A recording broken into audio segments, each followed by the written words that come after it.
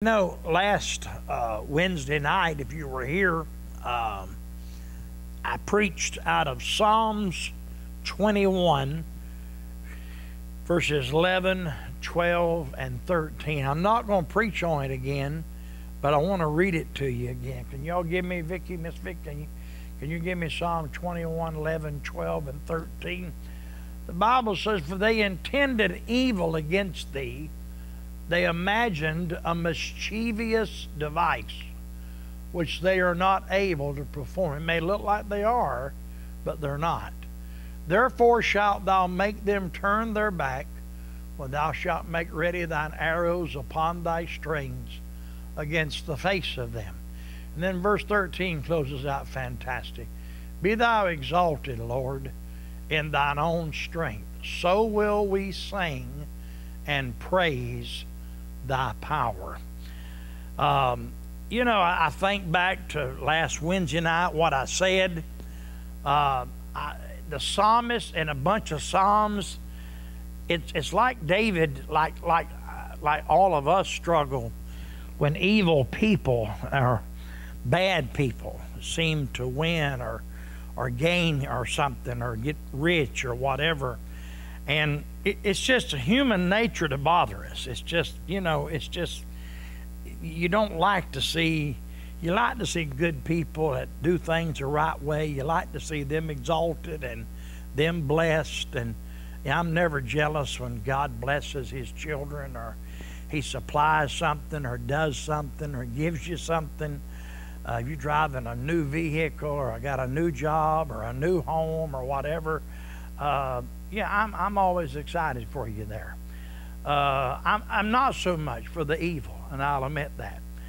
And David struggled with that a lot. If you look in the Psalms, he struggled with it. Uh, he said multiple times, Be not envious of evildoers.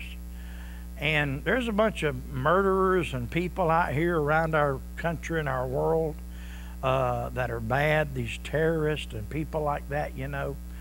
And uh, but anyway, he said, don't don't be envious of them. Don't be uh, don't don't don't don't want what they've got. You know, and I, you know, I was sitting in a group of people the other day, and we, my nephew, uh, Eddie's grandson, Alan.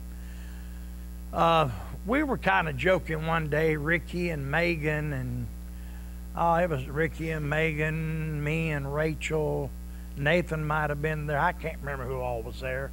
There were six or seven of us there, and we talked about investments and stocks, you know, and I've never been into much of that, never had money to do it with very much. But uh, he was telling me about this new little thing that uh, might work. I mean, it, it is one of them things that it's similar to Bitcoin that may ended up making people, and now billions of dollars. And so, um, 8,868 shares I bought for $12. Now, you know that's a high. You can tell by the cost, right? You're smiling. You can tell by the cost that's a high quality stock I bought, right? It's .00026, you know. And uh, but I said, you know, it's twelve dollars, so we'll see. If it comes it comes out one day, I'll be rich. But we got to talking about. Uh, Megan spoke up and I said, "What would y'all do if you won if you all of a sudden had millions of dollars and and I, I'm not being critical of them at all. I mean they're young and they told some things they wanted and they, they asked me it got back around to me and they said, What would you do? And you know, my answer now is totally different than it would have been 30 years ago. 30 years ago, I'd have probably said, Well, I'd like to have a brand new pickup truck and maybe a brand new home and, you know, this or that. Brother Bob, I sat there and thought about it, and I said, not because he's sitting here tonight. I said, I think I'd buy Jim Helms a brand new Mac Daddy right off the platform Bobcat with all the toys on it. Amen.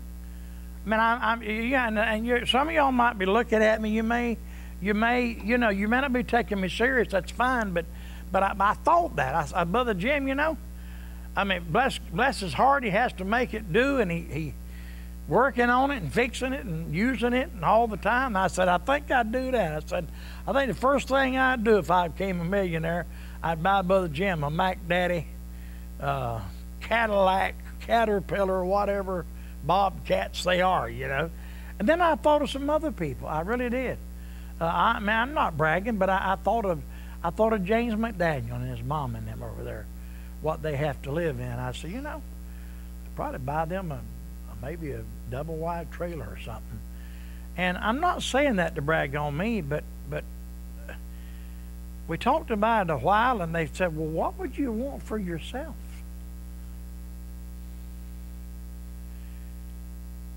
I mean, you know, your family is the most important thing you want, and your health, if you can have it, you know. I said, I really don't know. I mean, I reckon if, if big red F 150, brand new, uh, I'd drive around, forget it free, you know, uh, for a while at least. But as I get older, church, I just really, as I get older, I, I'm not as envious of rich people or people with real fancy. And ain't nothing wrong with having money. Nothing wrong with having nice things. I'm not. I'm not preaching against that.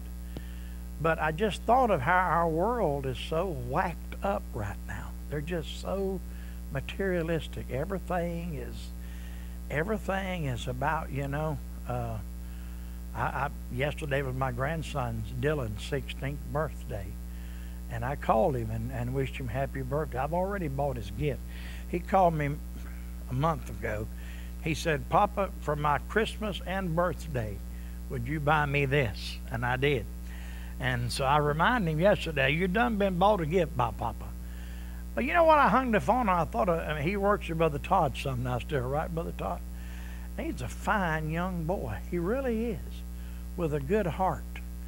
And you know, that means more to me than a, I don't know, a fancy truck or a fancy house or I, I, I, I just re- really I've got a few things I want to do. Me and Mike want to we want to go to where's that place?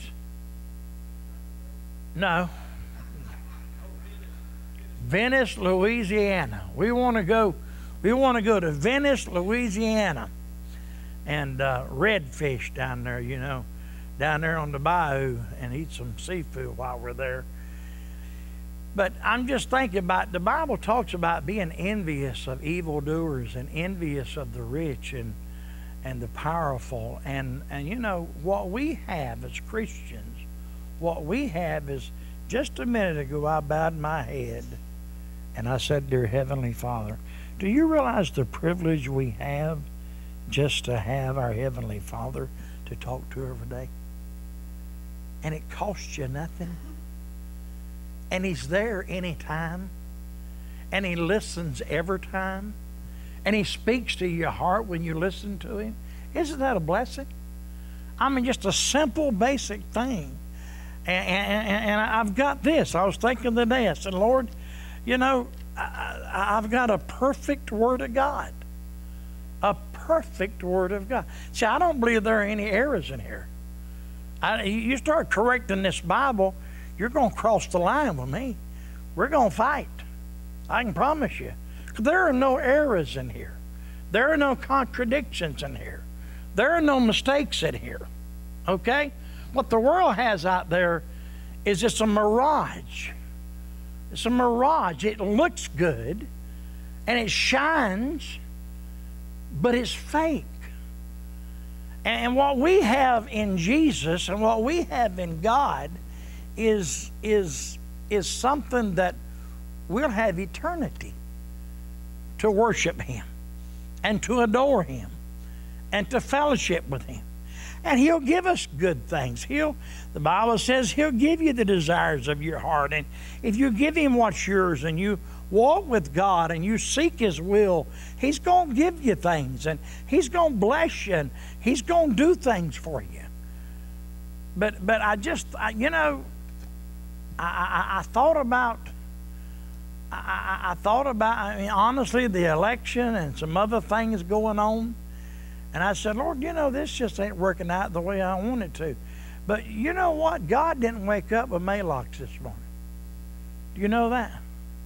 You know, God didn't wake up this morning and say, hey, Angel, go get me a Pepto Bismol. I've done, let, man, I played around, let something happen down there. No, God knows everything. God knows what He's doing. I've used this illustration so many times, I know, but it just, it, it, it just proves this point so good to me. Uh, Bobby Fischer was, quote unquote, the greatest chess player of all time. Uh, he beat the Russians that nobody could beat. He beat the Italians. Uh, he beat multiple people at one time. Uh, and I remember one time he said he sat down with a young guy, and he didn't tell this, the young guy did.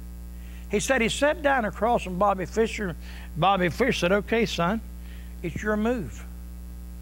Well, he went to get his pawn and move it, and he said, By the way, that's the last time it'll be your move. The boy kind of looked at him and said, What do you mean, Mr. Fischer? He said, I will dictate from now on every move you make. When I get my hands on my chess set, I am sovereign over the chessboard. You won't, he said, you won't make a move I hadn't seen. You won't do something that I don't know what to do next. That's how God is. God has not woke up discouraged. God does not get discouraged. God is not late. God does not make mistakes. He does none of that. And when I was in college, I memorized a poem. Uh, my father's way, I can't remember but one stanza of it. I, I used to have the whole thing memorized. What's that? You should give it.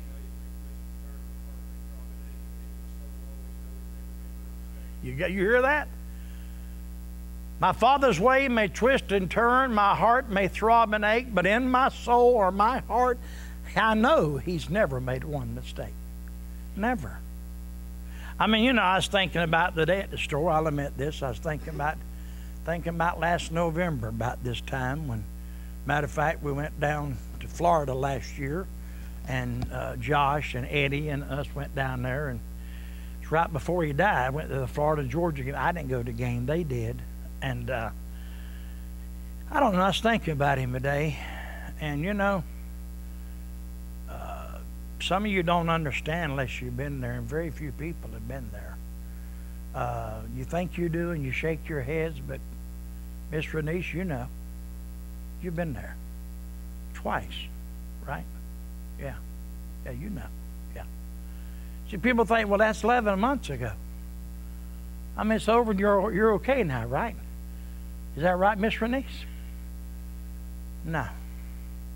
I'm not trying to make her sad. I'm just trying to show you something. That real pain always hurts. Always hurts. But God is always there. And whatever obstacle comes, and whatever tragedy takes place, keep this in mind that God is pulling the strings ultimately. You say, well, I don't know, preacher. Why does bad things happen to good people? I like what one preacher said one time, Brother Mike. He said, why does I got a better question than that. Why does good things happen to bad people like me? He said, why is I the sinner I am? God loved me so much his son died for me. So we don't know. We don't know why people have to lose their children or this or that or whatever or what whatever tragedy comes, you know. I mean I mean Mike's worried about his mom with COVID down in down in Savannah, you know, and and some of y'all been there with your mom and dads and you know the feeling and it, it's a bad feeling. I know that, but don't we always have hope in God? Is that not what faith is? What is the difference in us and the world? They don't have hope. They're hopeless. They don't, they don't see light at the end of the tunnel. We do. As one preacher said, we've read the back of the book and we know how it ends. I mean, I was just thinking about me and Jesse today. I was just sitting here thinking, you know, I was thinking about the day, you know, I uh, just sitting there, reclining chair, just sitting thinking about how the Lord put me and brother me and brother Fisher together, And then through Brother Fisher, put me and Tony Shirley together. And then through Tony Shirley, put me and Brother Jesse together. Are you following me? Because God does all things well. See, the Bible says in Psalms uh, 31, Psalm 31, this verse has always meant a lot to me all of my life. Psalms 31. We're going to read verse 14, 15, and 16. But I trusted in thee, O Lord. I said, Thou art my God. What's this next statement? Scott, my times are in thy hand, he said. The psalmist said, My times. Now look that word times up and see what it's talking about. It's talking about your life. Your life is in his hand. God has promised to take care of you. God has promised to protect you. God has promised to feed you and clothe you and watch over you. God has. God's done that. Our times, our lives are in His hand. Then it goes on to say, verse 15, Deliver me from the hand of mine enemies and from them that persecute me. Make thy face to shine upon thy servant. Save me for thy mercy's sake. See, we don't deserve what we get. You know, we, we, we talk about, and, and, you know, I mean, things things are going to change. If, if the election holds, there'll be things change, and we won't like some of them. And, and, uh, and, uh, and I, what I'm worried about in America, and I have been for years, is we've been leaving America that we knew for a long time. This didn't just happen yesterday. I mean, I mean, I, I'm 65 years old, so I've been around enough to remember the America of yesterday. And see, we've been putting God on the shelf for 30, 40 years now. We took him out of public schools. We took him out of our government buildings. We took him out of the public. We took him out of our state universities, our, our schools. So I'll be honest with you, I, I hope I'm wrong. But sometimes I was thinking today, maybe God just says, okay, you don't want me anymore? You don't want me to bless your country the way I've blessed it anymore, maybe? You, you want to see how some other countries live or whatever? I talked about our missionaries a while ago. I think about Brother Jesse's friend, Brother Manuel Gomez. I mean, down there, y'all, don't realize he's not in just he's not just in a mission field preaching the gospel. He's in a terribly dangerous area. I mean, the drug cartel, they've had multiple beheadings, multiple hangings of bodies in the very village that he's in. When he goes to town sometimes, he doesn't know he may ever come out of there alive. But God takes care of him, and he blesses him, and he protects him and watches over him. Because, see, church, our lives are in his hand. And he never makes a mistake. I make a mistake. You make a mistake. We all make mistakes. But God never does. He's never messed up. Brother Jesse just preached one of my favorite books of the Bible, the book of Ruth. And the reason I like it is, is, is not just for the stuff in it, but the history leading up to it. Where did the Moabites come from? Lot and his daughter had a sensual relationship and had a boy. And they called him Moab. So here she is in Moab, a Moabitess, and the grace of God comes by. She, the Bible says she had, remember that? She happed to be in that field. No, God happed her in that field. God said, You go in that field, and Boaz will be there. See, the devil, he intends evil for us. The devil hates us. Do you realize that? He really hates us. He really is against everything. He wants to throw a wrench in everything you do. He, he wants to get, if he can't get your soul, he wants to get your life. If he can't get your soul to your life, he wants to get your children's soul. If he can't get your soul to your life, your children's soul, he wants to get your children's lives. Jesus said in John 10, he just comes to kill and destroy. That's what he comes for. But God is bigger than him. Greater is he that is in you than he that is in the world. You, you know, and I know I've said this so many times through the years, but I'll say it again. You be reading the Gospels, you know, and there'll be miracles and stuff going on, you know. And you run into demons multiple times. I love how scared the demons are of him. Are you following me? I said, I love how scared of the demons, he, they, they, uh, of him, the demons are. They'll start saying, Oh, thou son of David. Oh, thou son of David, have mercy on us. One time they said to him, You've come to torment us before our time.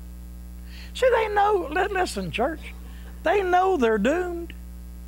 They know hell's made for them. Do you realize that? Why would they have said to Jesus, Well, you've come to torment us before our time? Because he has authority over them. So, whatever we go through in life and whatever we do in life, we're in his hand. Our life, our times are in his hand. You know, you know, when Jesse called me, brother Jesse, when he called me, uh, you know, I, I, I, mean, I've preached 40 years, my Lord. I've got 500, 5,000 sermons in my mind. So it normally is not a problem to come up with a sermon. Uh, an illustration. An illustration I thought of today was, you know, you you hear me talk a lot about my papa, uh, my mama's daddy, who I lived with uh, from the time I was one to the time I was six, and then every time I could, I went back to Jesup, and I lived with them. Uh, on my phone, if you see on my phone, my screensaver is a picture of the pond that I call my papa's pond. Had a little wooden dock on it, and I'd swim a while. Brother Bob, I'd swim a while, then I'd get some earthworms and catch some brim a while and then I'd swim another time. But but he he he was so good to me. But we'd go out at night and set. Y'all probably have no idea what this is. Have you ever heard of set hooks, bush hooks? You know that is? I know you know, Mike. That's not fair. Anybody else know? Brother Bob? Yeah. Okay. You you you you, you go to a river or a creek, and you know on the side of it you got bushes and you got things. And what he would do is he'd take a about a, I don't know, about a four foot little white, you know, regular, uh, little like tobacco line might have been. And he'd put a hook on it and he'd put a piece of cut bait on there. He'd catch a brim and he'd chop the brim up, he'd hook him, you know, and he'd drop that back down the river. He'd do that to about 40 bushes. We'd go up and down the river, you back, putting them set hooks in there. Well, when you walk down beside that river, he'd go back at night because what his favorite fish was a catfish. He really wanted to catch. He loved. I mean, he liked fish, period, but he loved to catch and eat catfish. And so we'd go at dark because they'd, you know, catfish bite at night better because they're 80, 90 percent blind. So we'd walk down the side of that thing, and the danger was you're walking right beside the river, and the sand, you know, and the stuff is not real solid and you can easily slip down into it. And Pop would take me in his hand, Brother Jim. He'd take a lantern in that hand. He'd throw around his neck a fish string, you know, with fish or whatever. And he'd take my hand and he'd lead me down that river. And he'd always push me back when he got to the bush, and he'd pull the bush up. Pull and I thought today, you know how safe I felt as a little boy? My papa's hand had me. You know how safe I felt? Really? I mean, my papa's hand had my little hand. Yeah, I just felt safe. Well, do you realize we're in God's hand? And and more sure, more sure that my papa would take care of me. And I, you know, you know Ed. Oh, you didn't know Ed. That's why I got whipped so much. I'd break away sometime. He'd let my hand go, and I'd be convinced I could run under by myself. And I, more than once, ploosh, right down in the creek, son. You know. But but but with God, you're never going to do that. See, you're never going to get out of His hand. You, you're, you're never going to get out of His protection. You're never going to get away from His sovereignty. So, whatever comes in your life or my life, He's going to be there. He's going to take care of me. Bernice, I mentioned the pain of losing your sons, but He has helped you, hasn't He? The Lord has helped you. Yeah. You hear that? Yeah. And He'll help you. Whatever you're going through, whatever it is, He'll help you. My times are in thy hand. God, you know what's going on. You didn't wake up today. See, my Lord, look what's happening in America. Look what's happening in Europe. Or look what's happening in Georgia. He, he didn't do that. He knows. He knows ahead of time. He know he knew before the foundation of the world, the Bible says.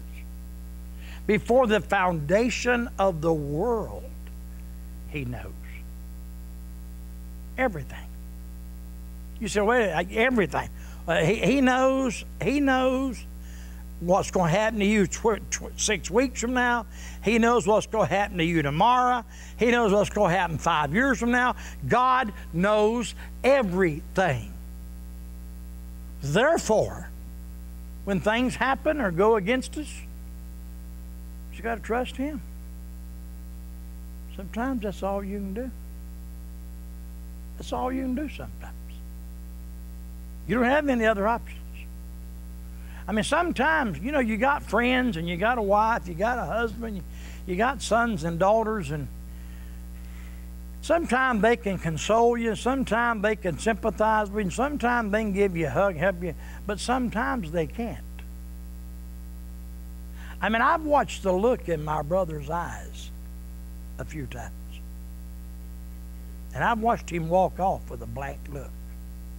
And you know what? I didn't have no answer for him. And I knew I didn't. I don't. But you know who does? The Holy Ghost of God does. He can speak comfort. He can speak peace. He can speak joy to you. Amen. Well, let's have a word of prayer. Before we go, Sunday, um, there has been a change. I know we got on the sign by the Tony Shirley's coming, but he's not coming. He's coming next month. He's coming in December, the Lord willing. But uh, he's not going to be here Sunday. We are going to have the day for Brother Jesse and Mr. Kelly, and we're going to um, have the dinner we talked about, Brother Todd. We talked about fair food, which is, I mean, I mean, they told us what to bring Sunday and all, right? And we know uh, you have your Blackstone here grilling and Okay, I'll try to remember my Johnsonville cooker and uh, cook a few bratwursts in it or whatever. But that's Sunday, and, and I hope you're going to be here. Uh, we'll start Sunday school at 10 o'clock, and we'll have church at 11 o'clock, like regular. And we're going to have some videos for him, and uh, we're going we're going give them a, a, love offering, a gift, and we're going to do. I hope you're bringing them some gifts. Also, uh, I pick. I'm gonna pick Jesse something up uh, tomorrow or Friday, or the Lord willing. And uh, but that's Sunday, November the eighth. That's at eleven o'clock church time, ten o'clock Sunday school time. Okay. And uh, I want to remind you about that. Try to come to Sunday school. We we have a we have a good time in Sunday school. Um, I'm teaching Sunday school. If I don't, Brother Greg Teasley teaches Sunday school. Um, you know, one of us one of us will teach it uh, each Sunday. So plan on being there. Anybody got anything special to say before we go? Any other request or praise or anything? Anybody? Everybody okay then? Okay, well, let's stand for a word of prayer.